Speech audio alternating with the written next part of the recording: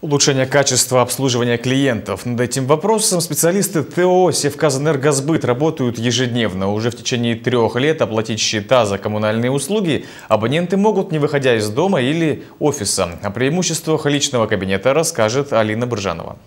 В операционном зале ТО «Севкасэнергосбыт» всегда многолюдно. Упростить процесс оплаты коммунальных услуг энергетики решили благодаря внедрению личного кабинета. Оценила преимущество современных технологий Светлана Голубь. Продвинутый интернет-пользователь с июля прошлого года не только оплачивает, не выходя из дома, свои счета, но и принимает таким образом взносы от собственников квартир. Светлана руководит управляющей компанией. Мы по решению значит, собрания собственников решили оплачивать сбор средств производить через, через Севкас Энергосбыт. Преимущество личного кабинета прежде всего в экономии времени и денег, даже на дорогу. Здесь не выходя из дома, оплачивать это, услуги значит, э, за тепло, свет, воду, услуги ТО, услуги КСК. Все в одной квитанции. Сейчас услугами энергетиков пользуются больше 160 тысяч абонентов. В личном кабинете они могут оплатить счета за свет, воду, канализацию, электричество и КСК. Услугу ввели три года назад, но пока еще не все потребители успели ее оценить. Воспользоваться электронными счетами решили только 4 тысячи абонентов. Энергетики говорят о преимуществах. Позволяет формировать